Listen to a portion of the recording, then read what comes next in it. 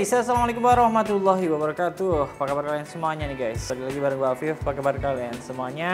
Happy Ramadan, gimana? Puasanya masih lancar. Di vlog kali ini gue akan project baru buat desainnya atau ini project berapa. Cuman ini project yang di mana biar sama kayak ZX yang lagi viral ZX4RR yaitu project double disc nih guys. Akhirnya setelah sekian lama gue bisa pasang. Cuman nggak tahu deh nanti projectnya apakah full atau enggak itu terus video kali ini dan kali ini gue akan spill juga uh, budgetnya berapa kira-kira part-part apa aja yang dibutuhkan. Langsung aja abis ini gue akan langsung ke uh, Kawasaki dealer Kawasaki resmi dan cari tahu uh, estimasi biayanya itu berapa aja di Bali itu guys. Yuk langsung aja.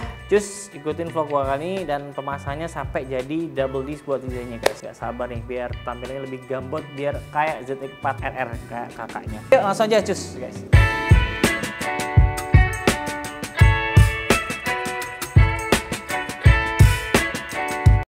Nah, gue sekarang udah di dealer Kawasaki. Jadi gue akan nanya-nanya part yang dibutuhkan untuk pasang double disc itu apa aja guys. Jadi langsung aja gue cek sini dan nanyain partnya apa aja dan harganya berapa guys. Jadi sebelum gue cross check online dan nunggu waktu lama, siapa tahu di sini ada guys. Jadi ini dalam dealernya dan gue langsung ke sana menuju ke service. Oke, okay, let's go. Jadi bagi teman-teman yang mau nyari part kesayangan kalian, kalian bisa langsung aja cek Instagramnya Parts Kawasaki Bali atau mampir ke Instagramnya This is Kawasaki nih guys. Jadi gua coba-coba juga harganya berapa guys. Yuk langsung aja guys. Cus. Oke okay guys, nah sekarang gua akan nanya-nanya langsung ke part Kawasaki Bali nih guys. Halo, Halo Kak, apa kabar sore? Baik. Si gua mau nanya-nanya mau project buat ZX25 mengenai uh, berapa sih harganya piringan cakram buat ZX25R yang depan? Iya, ada nah, lagi. Terus habis itu kaliper juga. Harga kaliper dan serta kampas remnya. Kampas rem depan. Oke, okay. dan setelah itu uh, apa lagi? Baut baut piringan cakramnya. Uh -uh. Itu aja dulu kali ya. Ya. Uh. Saya cek dulu sebentar ya kak ya. Oke okay, guys. Oke okay, guys sih, oke okay, kak. oke okay, cuy, nah jadi bagi teman-teman yang mau nyari part uh, Kawasaki di Bali, langsung aja mampir ke dealer Kawasaki, Duta Indika, dan kalian bisa cek langsung di Instagramnya part Kawasaki Bali nih guys dan pasti barangnya ori ya guys. Ya, yang pasti original Kawasaki dong kak. Itu dah. Ya, siapa tahu ada barangnya ready di sini. Kalau nggak ready bisa diindenkan guys. Ini saya sudah dapat estimasi harganya okay. untuk piringan cakram depan. Mm-hmm. Harganya dua juta dua ratus lima ribu. Dua juta dua ratus lima ribu. Ya. Untuk piringan. Uh, piringan cakram depannya. Cakram ZX25. Ya, uh, ZX25R. Untuk kaliper depannya mm-hmm. itu harganya satu biji dua juta delapan ratus enam puluh tujuh ribu. Dua juta delapan ratus. Iya. Satu biji aja. Oke, okay, dan setelah itu? Untuk baut piringannya per biji itu tiga belas ribu. Oh, per biji tiga belas ribu? Iya, dia pakainya lima. Ah, Oke. Okay. Jadi kali lima totalnya enam puluh lima ribu. Ah, enam puluh lima ribu. Ya. Uh, dan guys. kapas rem depannya itu harganya enam ratus empat puluh. Ya. Oh, jadi itu di estimasi. Kira-kira kalau di, kalau di totalin total ya, budgetnya uh, jadi berapa kak? Jadi kepo aja sih guys. Jadi kalau mau pasang double disc kan kita harus tahu cari-cari dulu nih informasinya, harganya berapa gitu kan sebelum kita eksekusi gitu kan. Nah, Totalnya lima juta tujuh ratus tujuh tujuh. Oke, nah sudah lima juta tujuh ratus tujuh puluh tujuh ribu. Tujuh puluh tujuh ribu. Jadi itu part-part yang harus dieksekusi, yang harus dipasang kalau kalian mau nyari bikin project double disc buat ZX25 biar seperti ZX4RR gitu. Ya ini harga belum termasuk ongkos pemasangan okay. ya, baru harga spare partnya aja. Dan untuk barangnya ready atau enggak? Uh, ini untuk ketersediaan stoknya kita ready di Jakarta. Oh Jakarta. Untuk ya piringan cakramnya sama kalipernya kita ready di Jakarta. Untuk kapas rem sama bautnya kita ready di sini kak. Oh kapas remnya di sini? Ya, uh, uh. estimasi untuk pemesanannya itu 2 sampai tiga minggu. Okay. Ya. Uh, kalau kakaknya mau pesen, kita perlu DP minimal 50% dari harga total. Uh, ya. Oke okay guys, gitulah. Jadi gimana? Langsung eksekusi aja. Thank you banget loh kak. Iya, okay. makasih. Sama Thank you. Ya. Oke, langsung aja guys, kita eksekusi. Oke okay, oke okay guys, dan langsung aja nih gua OTW ke tempat biasa, ke bengkel biasa, bengkel langganan gua langsung kita proses pemasangan nih guys. Biar kelihatan saya looksnya dapet lah ya. Seperti ZX 4 RR cuy. Mantap. Warna hitam tapi. Kacau kacau kacau. Tapi nggak apa-apa sih guys. Semuanya itu butuh yang namanya proses. Nggak langsung jadi nggak langsung hedon nggak langsung gitu lah. Ya dikit-dikit lah ya guys. Apalagi mempunyai seperti itu ini dia sudah sampai. Oh kan kalau pagi tuh kayak gini enaknya. Kosong masian set tuh masih kosong masih baru buka dan semangat 45 pokoknya. Mau dibantuin bang? Bantuin ya? Ada banyak. Ada kacau. Oke guys gitulah jadi ya biar nanti kelihatannya lebih padat aja sih. Kita tunggu semoga aja cepat selesai ya biar kelihatannya tuh awesome lah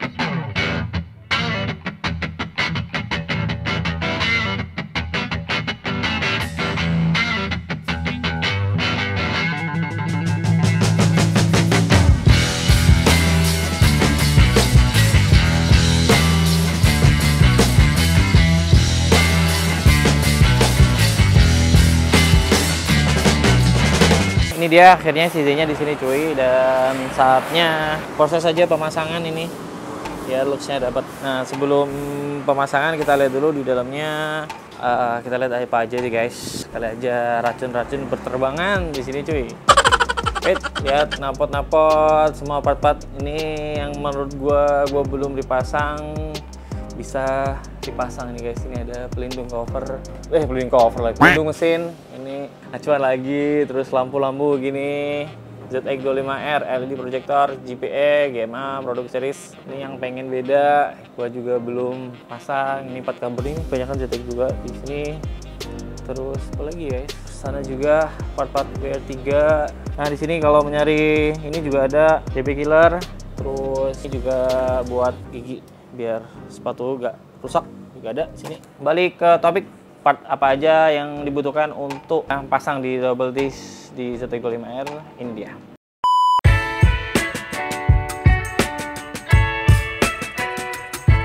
Oke okay guys, ini dia part-partnya udah uh, di sini, depan sini lah. Ini gue spill-spill aja nih. Apa aja ini pasti kelihatan banget lah ya guys ya. Ini ada satu, dua, tiga, empat, lima, enam. Kurang satu part lagi yaitu selang rem ini kayaknya. Oke, nah langsung aja kita spill-spill aja dulu ya guys ya. Yang paling kelihatan banget pasang double disc tuh ini dia. Brake disc Kawasaki. Ini original dari Kawasaki. Harganya kalian bisa langsung cek ke dealer Kawasaki guys. Atau uh, di online juga bisa. Uh, di sebelumnya udah sempet ke dealer Kawasaki yang di Bali harganya terus di sini harganya lah. Ini untuk disc brake Kawasaki baru. Itulah harganya guys. Nah ini yang pertama. Setelah disc brake Kawasaki lanjut ke lagi yang paling penting yaitu ini dia. Dia genuine part Kawasaki made in Japan. Ini kaliper sub as black. Buka dulu. Ini kalau mau pasang kaliper. Ini kalau dilihat kan bisa dibolak balik ya. Nah inilah tampilannya. Jadi inilah kalipernya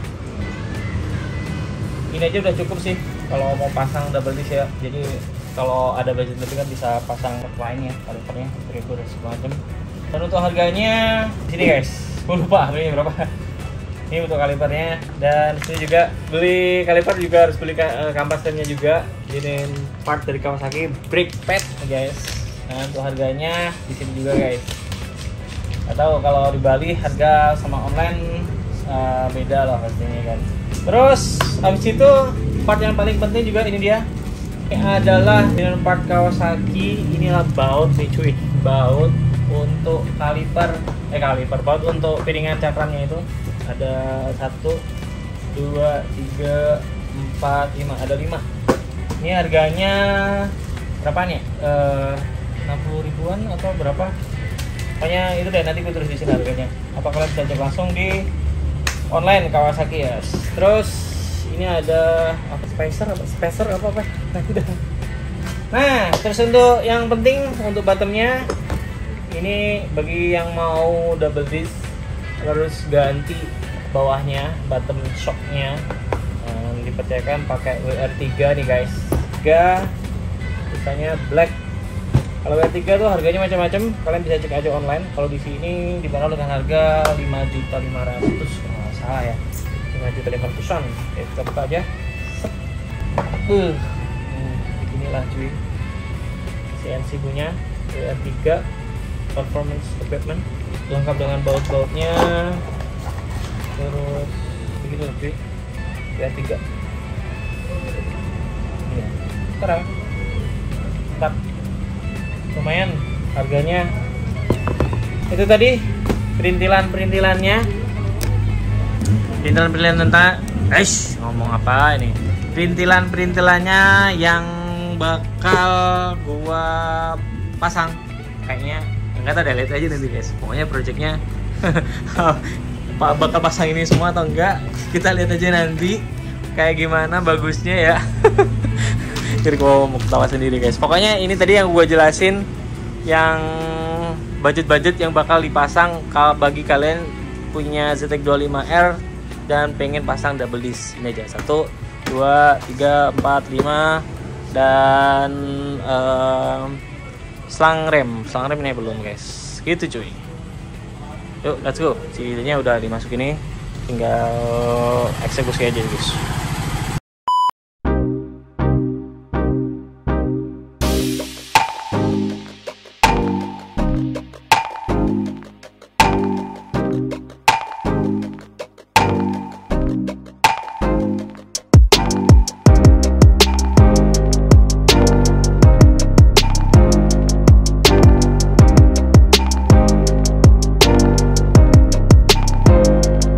Oke okay guys, dan ini dia prosesnya step by step ya guys. Jadi udah dibuka si Z-nya kayak gini dan tinggal menunggu proses saja perlahan-lahan. Nanti kita lihat terima jadinya kayak gimana guys. Langsung aja, nanti kita tunggu aja proses selanjutnya dan sampai jadilah pokoknya biar lebih oke, okay, biar lebih berisi ya guys.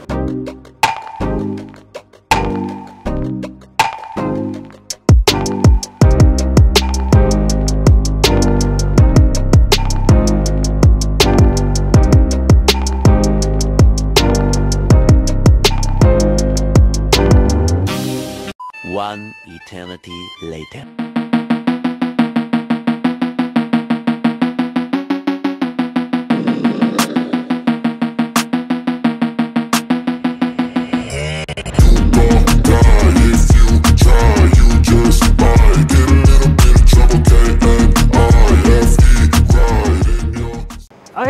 Dan ini dia akhirnya udah selesai juga project double disc buat CZ-nya nih cuy. Sumpah keras. Jadinya keren banget ala-ala ZX4RR nih cuy. Tapi tapi yang sangat disayangkan banget ini adalah nanggung sekali nih guys.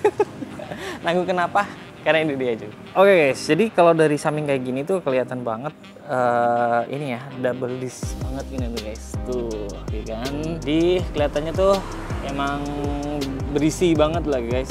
Jadi ya ala-ala biar sama kayak ZX 4RR gitu cuy. Di belakangnya udah gambot depannya juga diikutin gambot gitu kan biar sekilas. Kelihatan ah, gitulah guys. Tapi yang sangat disayangkan sekali lihat dari sisi sini guys. Tara. Itu masih kopong banget ya guys ya. Jadi belum terpasang ya guys projectnya. Karena kenapa? Karena budgetnya masih minim guys. Jadi jadi sekarang masih bisa pasang uh, piringan cakramnya ya dulu. Nanti setelah itu kalau next ada budget lebih baru bisa dipasang buat kalipernya sama bottom bottom shocknya ini guys. Jadi nggak apa-apa ya guys ya. Untuk sementara waktu kayak gini kelihatannya sih oke okay ya. Tapi ya kayak ya janggal-janggal bisa lah janggal kayak kurang wow kurang berisi aja kayak gitu cuy tapi nggak apa-apa lah project ala-ala nih. Project nanggung nih sebenarnya sih. Double disc nanggung banget. Ya apa apa apa daya kendalanya di situ guys. Tapi nggak apa-apa ada ya gini lah tapi di video sebelumnya udah gue jelasin untuk harga perintilan segala macamnya estimasinya segitu guys. Jadi bagi teman-teman yang mau double disc yang versi low budgetnya semoga itu tadi bermanfaat lah. Estimasi harga-harganya di Bali loh ya itu. Harga di Bali segitu dah buat kalipernya harganya berapa piringannya berapa terus bautnya berapa dan yang paling mahal emang ini sih guys untuk merek WR3 double disc ya cuman kalau teman-teman tahu ada yang lebih murah lagi mungkin bisa info ke gua atau langsung tulis di kolom komentar nih guys ya. Siapa tahu kalau budget gua masih masuk kan bisa langsung eksekusi aja guys. Gitu cuy. Tapi overall tampilannya dari kalau dilihat dari si sebelah sini sih uh, ganteng banget cuy. Sumpah. Ganteng banget. Ganteng banget. Gitu guys. Tapi kayak setelah langsung masuk ke sini set ya udah beda lagi. Masih berisinya masih kurang ya. Kelihatan banget ada situ ya. Ya ini deh project deh. Kalau seandainya teman-teman ada tahu ada yang tahu info dari jual bottom shock uh, yang lebih harga low budget bisa japri gue guys. Atau mungkin gini ya. Kalau seandainya ini orinya beli ori terus habis itu dikasih apa dilas gitu apa bisa biar las-lasannya tuh biar sama kayak ini gitu di model kayak gini tapi nggak tahu juga sih aman atau enggak ya guys. Pesannya ada yang jual sih bisa jadi masukan juga. Siapa tahu versi yang low budgetnya buat double disc. Gitu guys. Jadi untuk cari looksnya aja sih guys. Tapi gimana menurut kalian? Worth it nggak? Untuk biayanya pemasangannya sih kemarin nggak banyak-banyak sih under under satu jutaan lah ya. Cuman tinggal dibubut aja. Tas ini juga di dipangkas ya guys ya. Dipangkas sedikit ini. Ini lihat lihat tadi soalnya kenapa kalau dipangkas nih tetap uh, mentok sini ini. Mentok sini. Oke. Okay. oke okay, guys jadi gitu aja project gua kali ini buat double disc nanggung sih. Pasang double disc nanggung banget ini. Cuma piringannya doang ya guys. Tapi gimana menurut kalian? Worth it atau enggak sih? Ya kalau balik ke budget sih menurut gue pribadi sih ini worth it worth it aja. Cuma nanti kalau ada budget lebih eksekusi lagi nih guys. Soalnya udah dipasang kan tinggal uh, part-part uh, lain aja. Kaliper dan bottom shock dan yang lain-lainnya gitu guys. Oke? Okay? gimana menurut kalian bagus nggak? Bisa tulis di kolom komen guys. Oke? Okay, bye. Thank you buat kalian yang sudah nonton and see you in the next video guys. Bye. Assalamualaikum warahmatullahi wabarakatuh. Peace. Tuan. Ih, kelihatan ZX 4RR cuy.